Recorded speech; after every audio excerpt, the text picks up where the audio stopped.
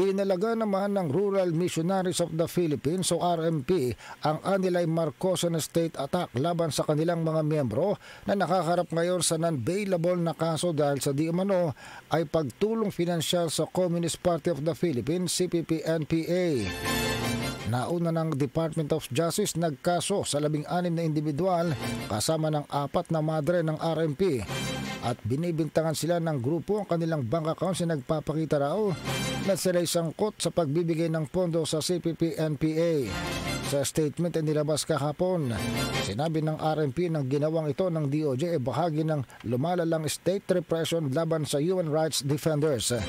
Bakit daw ang gobyerno, lalo ng Duterte hanggang kay Marcos, galit na galit at ginagamit ang lahat ng resources ng gobyerno para maisara ang RMP o Rural Missionaries of the Philippines, sabi ng grupo.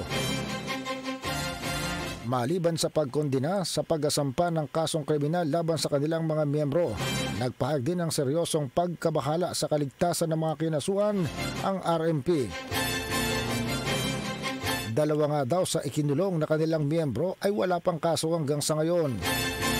Ginagamit daw ni Marcos ang taktika na ginamit ni Duterte na dinidemonize ang Legal Democratic Organization gaya ng RMP na nagbibigay ng much needed services sa mga tao at inilalagay sa panganib ang mga miyembro ng RMP.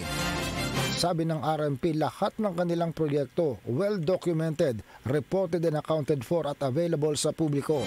Hindi raw nila alam kung saan nanggagaling ang mga pagbibintang at ang laman ng sinasabing dokumento na nakuha ng gobyerno. Sa ngayon, hindi pa naman ipinapakita ng gobyerno ang mga pinagbatayan nila para masabing ang bank account ng RMP ay ginagamit na taguan ng pondo ng NPA.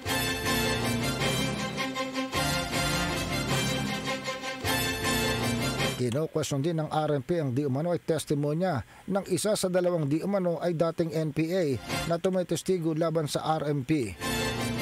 Paliwanag ng RMP, ang isa sa mga testigong ginagamit laban sa kanila ay may kapalit mula sa gobyerno.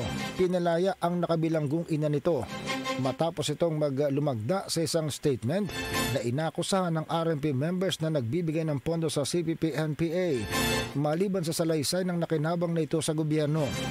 Walang ibang ebidensya pang nailalabas ang gobyerno laban sa RMP. Ilang mga grupo gaya ng National Union of the People's Lawyers ay nagpag na rin ng pagkabahala sa akusasyon laban sa labing-anim na kinasuang mga individual. Bueno, sa pamamagitan po niyan, pinapasalamatan natin ang mga CMN participating stations sa Luzon, Visayas at Mindanao. Ganon din po ang ating mga reporters mula sa iba't ibang bahagi ng bansa. Ako po naman si Ariel Ayala, nag-iiwan sa ating lahat ng isang masiglang umaga. Salamat po. Mula dito sa DWAL Radio